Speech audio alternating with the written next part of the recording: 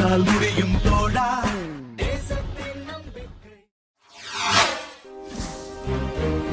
Palani Kennedy matric பள்ளியில் புத்தக சுமை இல்லா நாள் விழாவை முன்னிட்டு பல்வேறு கலை நிகழ்ச்சிகள் நடைபெற்றது. பழனியில் உள்ள கென்னடி மெட்ரிக் பள்ளியில் மாணவர்கள் நாள்தோறும் புத்தக சுமையை எடுத்து வருவதை தவிர்க்கும் விதமாக இன்று ஒரு நாள் புத்தக சுமை இல்லா நாள் கொண்டாடப்பட்டது. இன்று மாணவர்கள் அனைவரும் புத்தகங்கள் எடுத்து வராமல் பள்ளிக்கு வந்தனர். இதையடுத்து ஆர்சிஸ் சர்ச் வளாகத்தில் புத்தக சுமை இல்லா நாள் விழா நடைபெற்றது.